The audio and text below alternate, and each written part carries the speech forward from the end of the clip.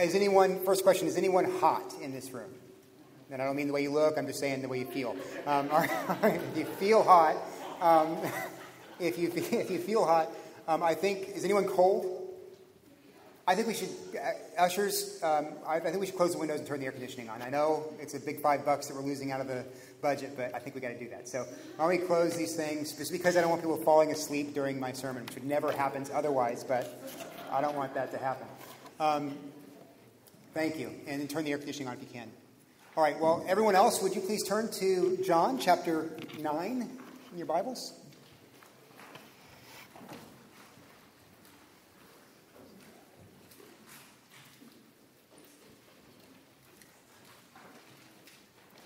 And let's start in prayer. The Lord be with you.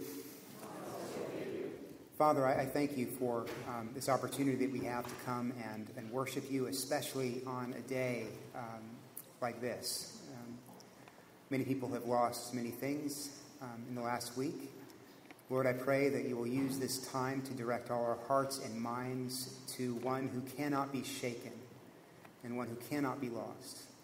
And I pray that you'll use my words and um, the things that I say um, to move us all uh, to your Son, Jesus. And I pray this in his name. Amen. Okay, um, the lectionary calls for us to talk about forgiveness today, which would have been great because we all need to hear that. But um, I'm going to let you hold on to your grudges for another week um, because I changed, I changed the lectionary on purpose because of what happened this week and the flood. Um, and I wanted to talk about, about that a little bit. I've had a, several conversations this week, mostly with people who have lost things in the flood, um, either uh, their home, part of their home or possession, even animals and pets. I don't know if you read the paper this morning um, about Petco and all the, the pets that died in the flood. And Petco was really, really sad and, and terrible story. Um, one person I talked to was a parishioner who said, you know, it's hard not to be mad at God right now. It's very difficult not to be angry with him. He said, I know lots of people who are just now, just in these last, this last year, getting over the last flood. And God allows this one to take place. It's true. I think I read 20,000 people were evacuated. Um, who knows how many of those people actually lost homes? Don't know. Um, who knows how many businesses were affected and destroyed? We, we don't know yet, but a lot. Who knows if many people who lost their home are going to say, hey, you know what? We've had a 100 year flood in the last twice in the last five years, so I'm just going somewhere else and I'm going to move out of Binghamton. I know a lot of people are afraid that their um, workplaces are going to make the same decision and they'll be without a job. Binghamton uh, was already in economically poor shape, and I think spiritually, just from my experience being in Binghamton, it's kind of a spiritually depressed area, and uh, this has not helped. In fact, it has hurt us pretty badly, very badly. So, here are some questions I think we need to wrestle with and talk about today. Three of them. First one is why did God let this happen? Very simple. Why did God let this happen? Second is, does God have a purpose for Binghamton in this flood? Third, and how should Good Shepherd respond? Okay. Three questions. We'll spend most of our time in the first one, but then we'll get to the second two um, in good order. All right, you might notice an assumption in this first question, which is why did God let this happen? The same question, if you were around, um, was asked after the tsunami that hit Japan this year, remember? or 2010, or two, I can't remember if it was this year or not. And the same question, since today is the day, the same question was asked in the aftermath of the September 11 attacks. Why did God let this happen? The assumption there is that God could have stopped it.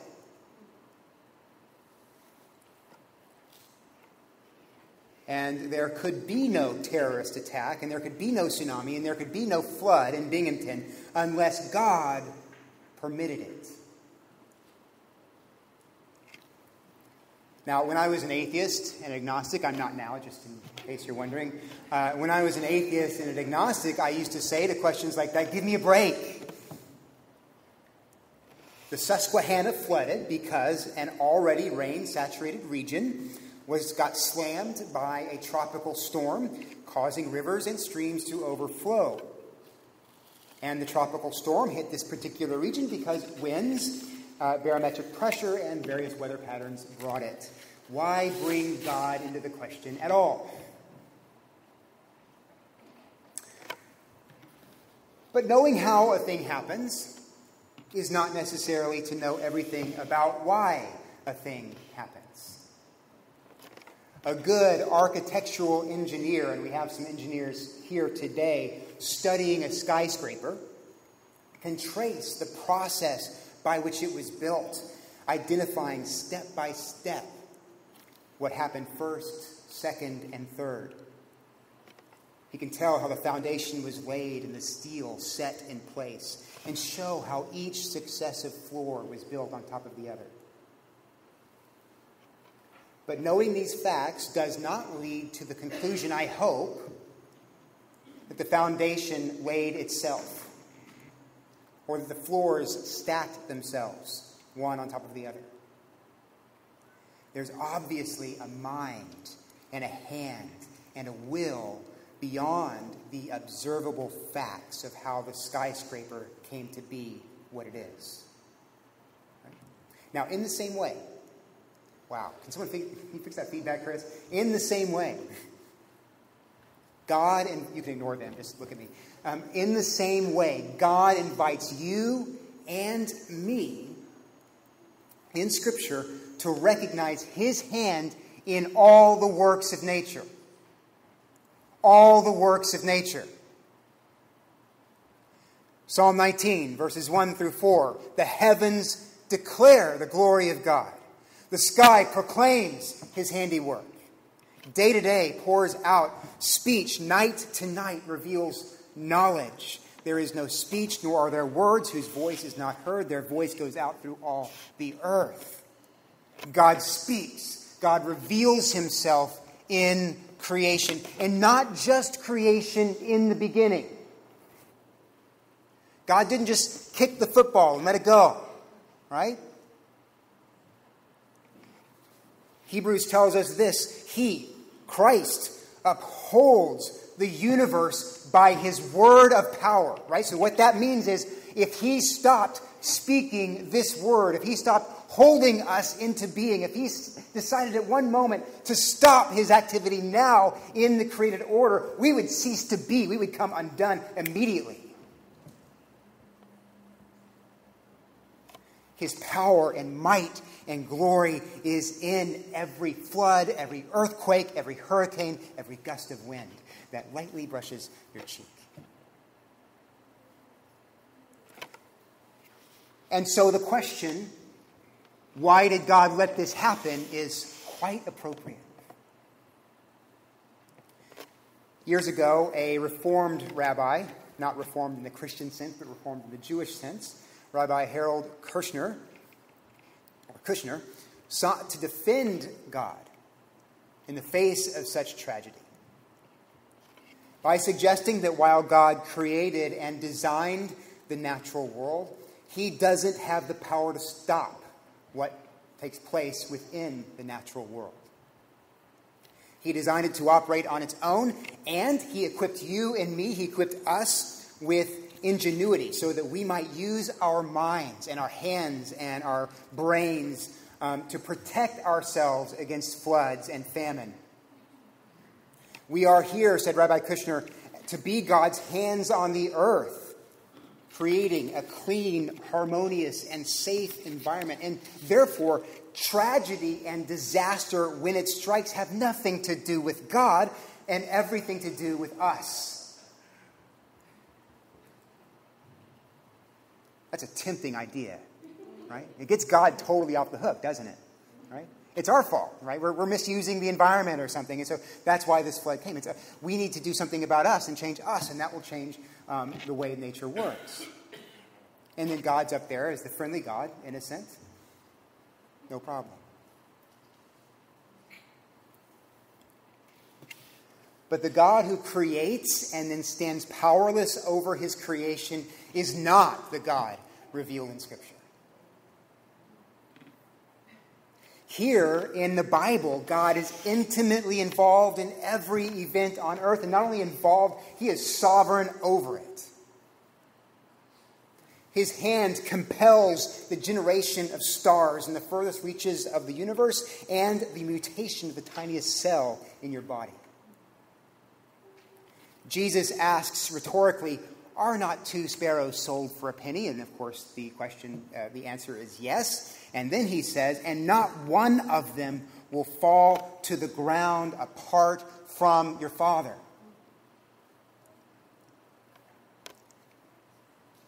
if no sparrow falls to the ground apart from God's will or permission, how much more two towers that touch the sky? How much more are we to recognize his hand in earthquakes and hurricanes and floods? So, again, the question and I hope you see the reason for it now. Why did God let this happen? Because that is a truth. God let this happen.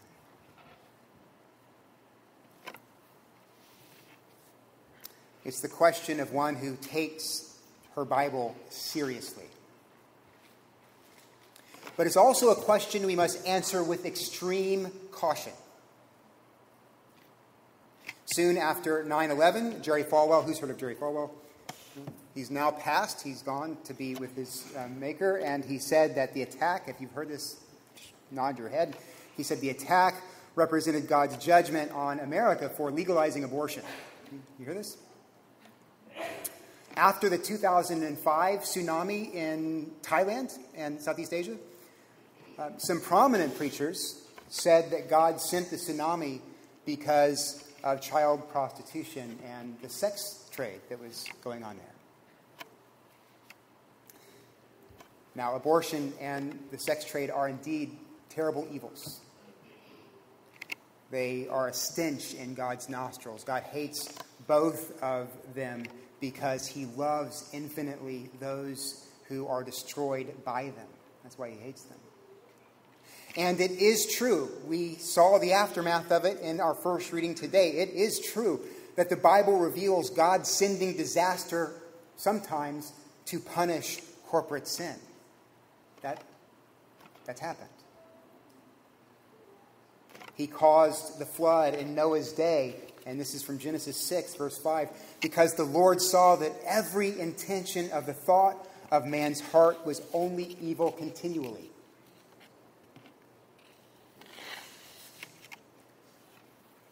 But there have been many floods.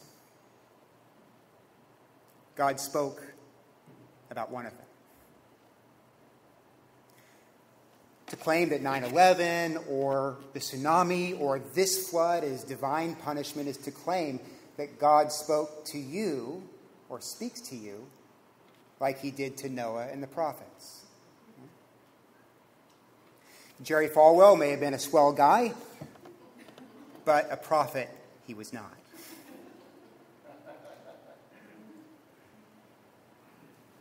God only speaks to us that clearly in the Bible.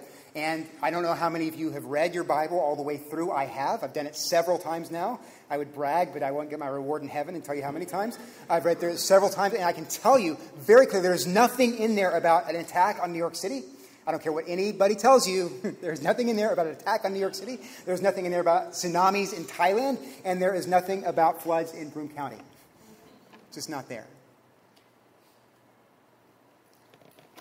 So, why did God allow this flood at this time? The only answer you can give anybody who asks you that question, and the only answer I can give anyone who asks that question is I don't know. I don't know. God hasn't told me. He may not tell me until I get to heaven. Not all that satisfying, is it? Well, then comes the second question, which I think might help. The second question is does God have a purpose for Binghamton in this? And I want in our minds um, for us to go back to Genesis 1 and 2. You have to turn there. Just go back in your mind. Again, you don't have to go there because I'm not going to reference anything specifically, but you can look at it if you want to. If it'll make you feel um, better, that's great. Um, whether there were floods and earthquakes in the garden, remember Genesis 1 and 2 is before the fall, is before sin entered the world. Whether there were floods and earthquakes in the garden, I don't know. If you read, like some theologians actually argue about that. I don't know. I am not going to tell you that right now. I don't want to get into that. Um, I don't know. Um, but if there were floods and hurricanes and earthquakes in the garden, I can tell you one thing for sure no harm came to Adam or Eve or any beast in that garden.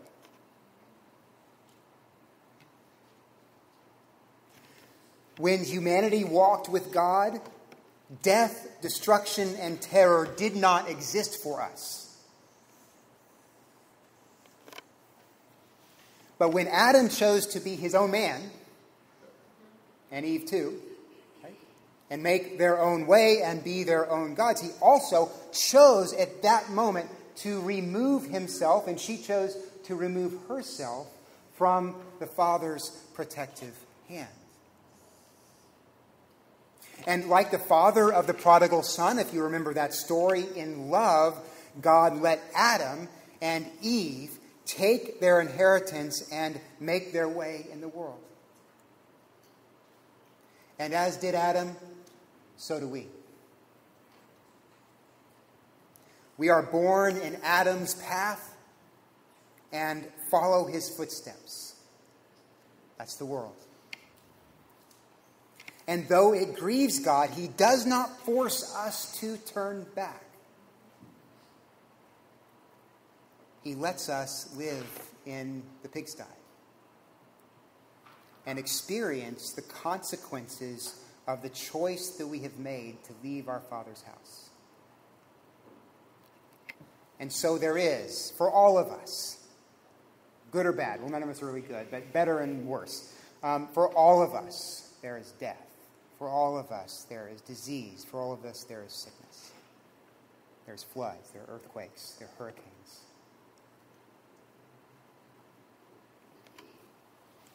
All of these things come as the general, general consequence for our having rejected God.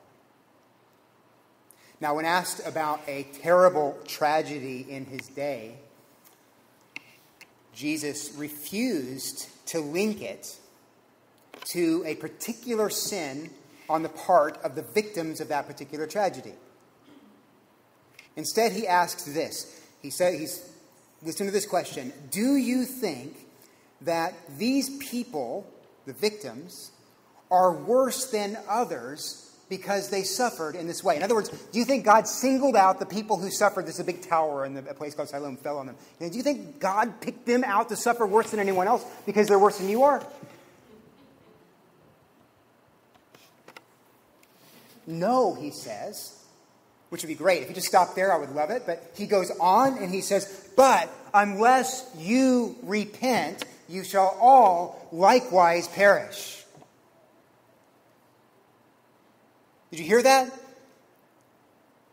Yeah, I mean, this wasn't particular punishment for their sin, but you know what you see happen to them, unless you repent, you will all likewise perish. Do you hear his point? This tragedy didn't happen because these particular guys were sinners, but because we're not in the garden anymore, we're all very far gone from the Father's house and from his roof. Therefore, when these things take place, that is your call to turn back, to turn around, to repent. Go home to the Father who loves you. I don't know why God allowed this particular flood at this particular time, but I do know that this flood reveals that we have left the garden. We're not there anymore. God's purpose in allowing this flood and every flood then is at least partly to call us home, to turn back. For those who've lost everything,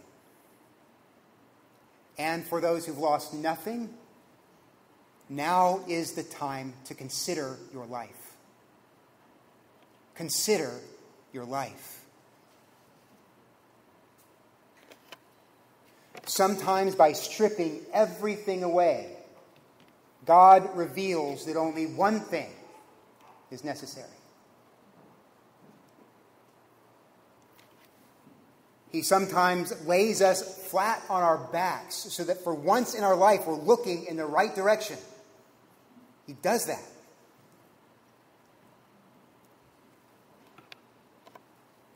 If you have been looking in other directions and serving other gods, now, today is the day to repent. If you've been living a life apart from God, apart from His Son Jesus Christ, today is the day to take what happened this week, see it as a warning, and say, No, I am going to go back to my Father's house through Jesus Christ.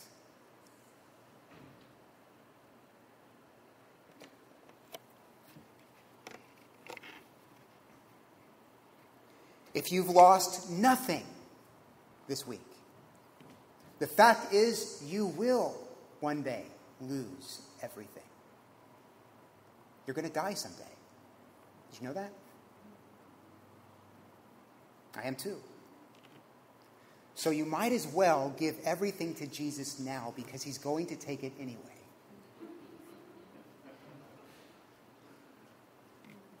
Jesus promises to forgive you, to embrace you, to pick you up and take you back to your Father's home. He will do that. He will do that. Go to Him. There is another purpose as well, and we're winding down now, don't worry. When Jesus met a man born blind, and this is where your Bible should be open, he was asked a very similar question.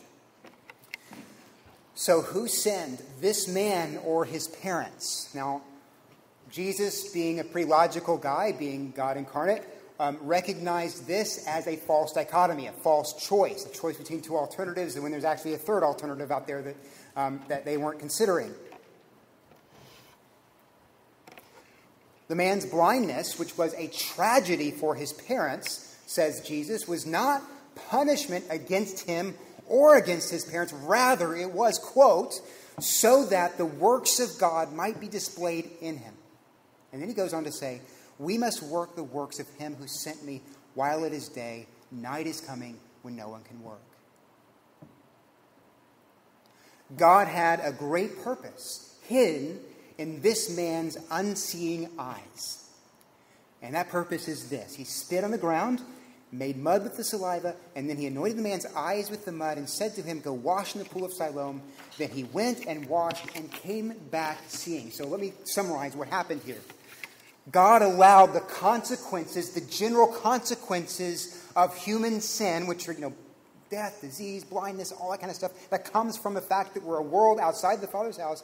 God allowed the general consequences of human sin to affect this man in particular so that he could display his love for those who live in darkness and bring glory to his son, Jesus Christ. God allowed the consequences of human sin to affect this man in particular so that he could display his love and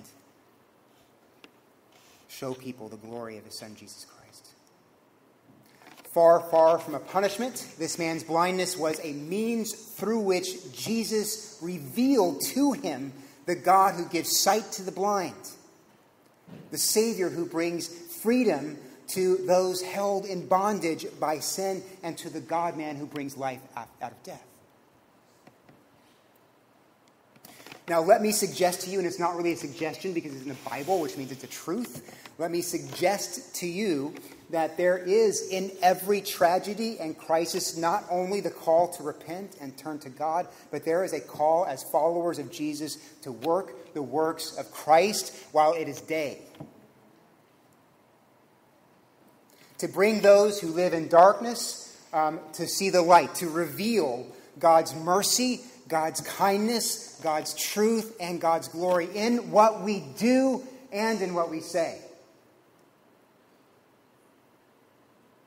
Jesus says, We must work the works of him who sent me. He's talking about the Father while it is day. The we is in us. You, me, Jesus. The day is now. When Christ returns, it will be night for those who refuse to see him or for those who die before he gets back. So in the day, we go with Jesus into the dark places of the world to the people who suffer. Spiritually suffer because they're alienated from God, or physically suffer because their homes have been destroyed.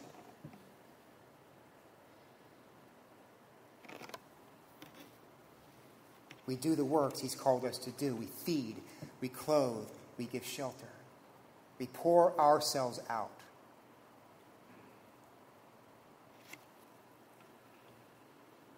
And we don't do this like social workers. I like social workers. They're great. Don't mean to, if you're a social worker, wonderful. I love you. Great.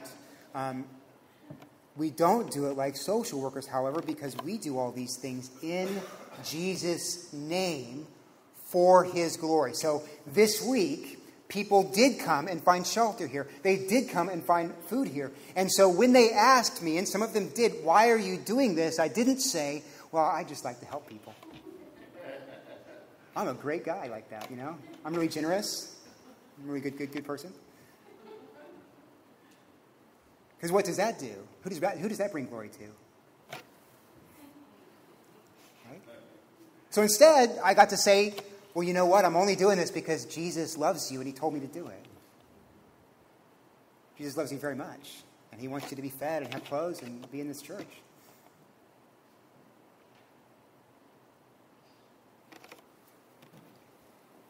When people ask us what we do as we serve and go out into the world and alleviate suffering, we, we say this is what Jesus calls us to do. He loves you and he wants me to help you. So those are the two purposes here.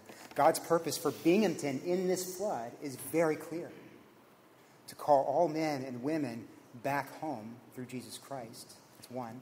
And two, to reveal his Son in the words and the works of his followers who alleviate suffering. That's it. Those two things. All right, finally, last thing, and then we'll close up. How is Good Shepherd, this is very practical, how is Good Shepherd to play a part in this overall purpose of God? And if you drove here this morning or you were looking out your window, I hope you were if you were driving, you would have seen um, the sign that said uh, food, meals, shelter, right? That's one thing that we've done very practically. We've opened the church up. It's probably going to be open for another week at least.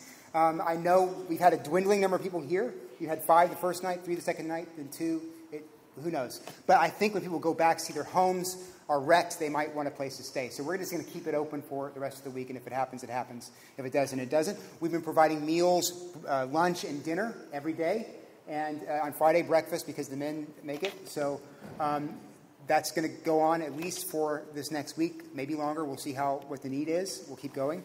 Um, that's all very good and well, and if you've helped in that effort, I really appreciate it. Thank you. Um, thanks be to God in you. That's great. Um, now, in the coming days and months, this is what I want from you. Not me, I'm sorry. This is what Jesus wants from you. And I can tell you he does. I'm not just making this up. God, Jesus didn't tell me this audibly, but he tells me this in the Bible, all right? He wants your sweat. He doesn't want to collect your sweat. He wants you to sweat. he wants you to work.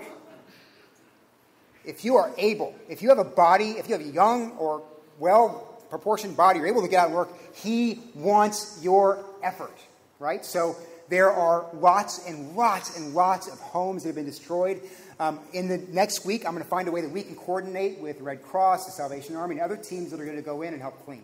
If you would like to be part of that, I want you to sign your name on a piece of paper that I'm going to have downstairs after this service to help do that. There are, uh, at least, again, I said before, three people in this church or three families that have lost have significant loss to their home and property.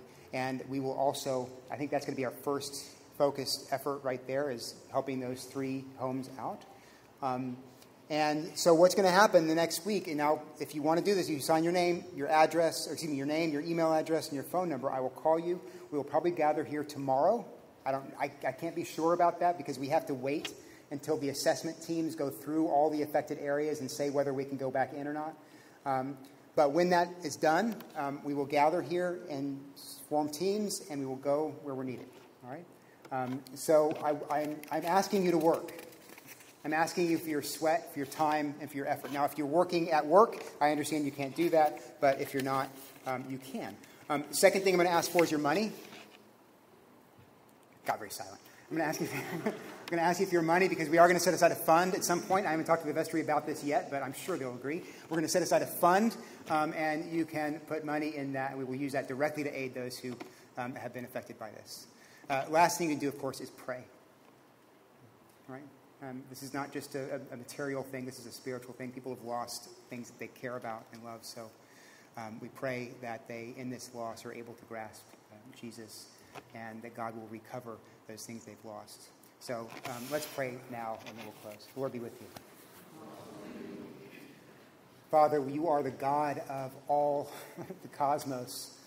Um, there is not a gust of wind, there is not a hurricane. Um, there is not a tornado or a flood that takes place apart from your will. Um, Lord, this does show forth your power and your glory in all the world.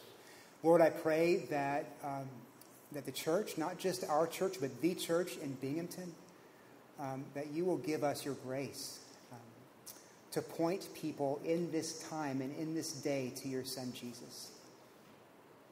Lord, I pray for anyone here who needs to turn around. Lord, open their eyes so they can see, soften their hearts so they can hear. Lord, give them the grace to believe and to trust your Son, Jesus. Finally, Father, I pray for us as a church that you will give us a spirit of generosity and sacrifice during this time. And I pray all of this in Jesus' name. Amen.